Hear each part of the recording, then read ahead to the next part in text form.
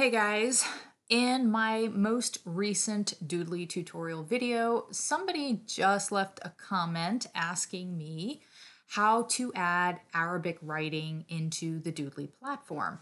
It is not something I had ever done before, and they had even suggested if it's not something I had ever done before, maybe I could give it a whirl uh, just for my own information. And I thought, well, I guess I'm up for a challenge, and truth is, it isn't something I had ever done. I don't usually make my Doodly videos in different languages. I only know English, and um, but hey, it's it's always good to know something. It's always good to know something new, and now I know something new, so I'm going to turn around and share it with you guys because I actually have seen this question posted before. Okay, before I get started, I just want to let you know that my little tutorials are just meant to offer a little extra help. Um, you guys should not use my videos to bypass the official Doodly tutorials that are yours once you download this software. Um, and of course, if you have any questions, you really ought to be emailing support at doodly.com. But if there are things that I can show you guys to help make your life easier in conjunction with their support team and with their tutorials, then I think that's great and I'm happy to do it. All right, so this is what you do. Okay, and it's whether, you know, you're trying to use Arabic writing, Hebrew writing, Japanese writing, all right, this is what you do. Okay. In my case, I had to translate because I honestly wouldn't have known what to put in there. Okay, so I just, you can go to Google, English to Arabic translation, English to anything translation. What it's going to do, it's going to come up, it's going to give it to you, usually right on the first page. Okay. So I typed in a little blurb Hey, how's it going? Hope all is well. This is what came up in Arabic. All right. So you've got the lettering, it's different lettering, and then what it would sound like if you tried to say it in, in, um, you know, if you tried to read it out in regular American letters. I copied and pasted. You can just hit the control C. Okay. I brought it into Doodly. Okay. But first, see, this wasn't going to work. I tried it. This was not going to work properly if I tried to use regular English American font. Okay.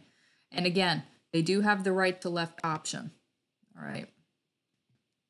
All right, that's what it looked like. So that is clearly not going to work. right? So I thought I'm going to have to get their their lettering system in here. Okay? So what I did, again, I went and I did a search for you know, free Arabic font download and I found this one. Okay? I'm going to let you guys know I don't know the first thing about, you know, fonts in different languages. I'm I'm kind of just flying by the seat of my pants here, but this seemed to match along pretty well with what I saw in the Google translation, just as far as the style. Okay. So I went ahead and downloaded it. You always want to look before you, you know, use fonts, download fonts. What are they for? It says this is for personal use only. I am not selling this and I am not using this to create a product to sell. This is strictly a tutorial on YouTube. I'm not selling anything. So I went ahead and I downloaded it and brought it into Doodly. Okay, so here I still have that same phrase copied and pasted. All right, on that first page here, we've got it in bold, but I had gotten it a couple of times. I'm going to go ahead put it in regular. We're going to paste again. We're going right to left with this one. Oops. And there you have it. Okay. Okay. So I did the same thing here with Hebrew, and I believe this is what I'm using here. I went through the same process with Hebrew, and I went through the same process with uh, Japanese. Okay, and this is what I ended up with with the um, originally with the Japanese writing. However, as you can see, this is what it looks like. Okay, it's kind of all bunched up on each other. I don't like it, and I don't think you would like it if you were trying to read this. Okay, so I went ahead, and this is the thing, guys, when it comes to different fonts, uploading it into whether it's Doodly, it's going to work this way with with many different programs.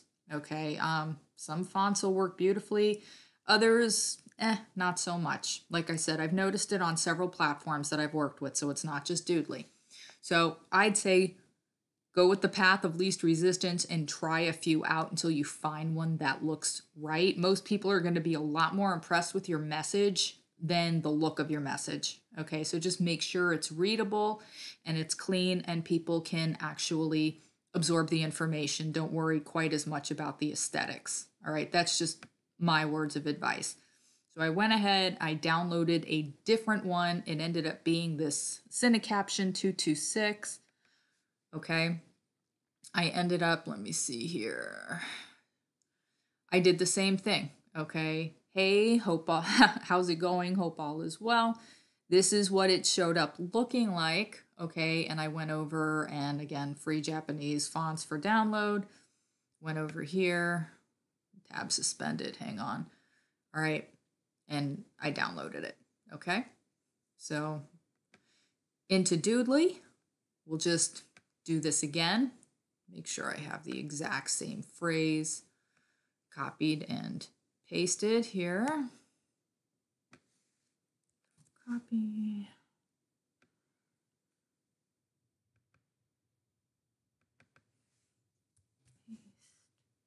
And there we go.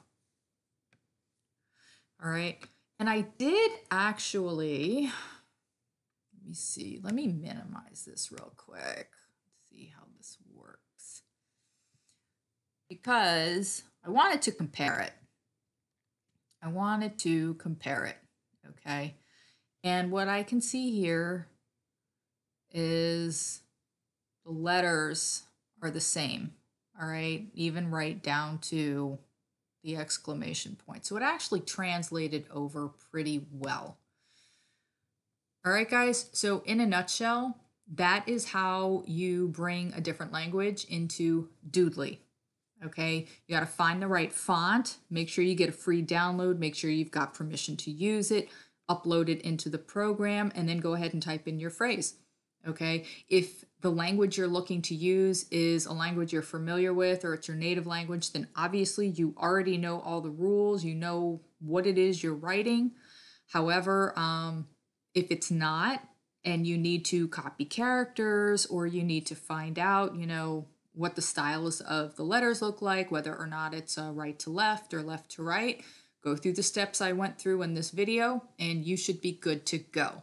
If you find these videos helpful, I have a whole playlist, um, you know, Doodly tutorials, all kinds of stuff, you know, about voiceover software, where to get, you know, free fonts, where to get free SVGs, how to use SVGs, all kinds of cool stuff, you know, with regard to using Doodly. I will link a, um, I will add the link to the description box as far as that playlist is concerned. And if you find these videos helpful, I do tend to upload them when a significant question that I can answer comes up. So I would suggest you subscribe to this channel and feel free to hit the notification button. And I hope this helped you guys out. Okay. If there's something you want to know, leave me a comment. And if it's something I can do, I will create a video for you. Until next time, guys, Take care.